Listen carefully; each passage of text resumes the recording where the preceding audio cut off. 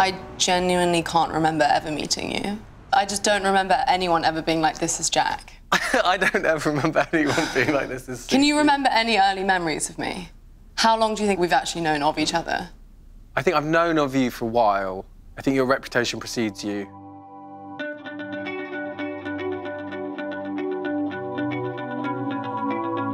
What would be the perfect ingredients for a night out?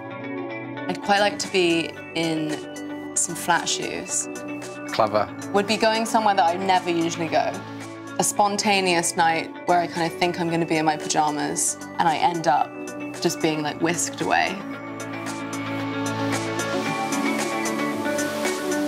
It's better for me to not have a lot of time.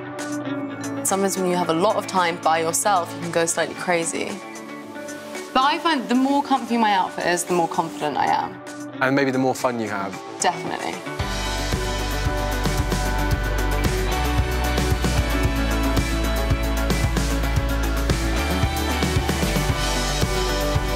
I wanted to talk to you about mixing up on a night out. I want to go somewhere where I can play, entertain my inner child.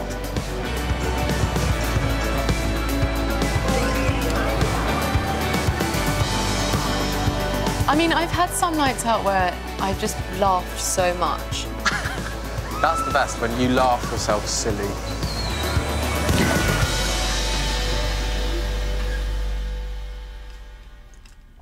Hmm. so we... You're always very together, I think. Yeah. Like, whenever I see you, you always look amazing. How important is it to you to, like, stay looking like that throughout an evening? I'm quite lucky that I know my limits. You're so busy that you can't kind of lose a day to a hangover. You're a classy bird, is what I'm trying to say. I don't know about classy bird, but um, I'm quite like self-aware, and I, you know, I need to. You can't be a silly Suki. I can't be a silly Suki too much because I've got to get myself home and I've got to wake up the next morning and and get on with it.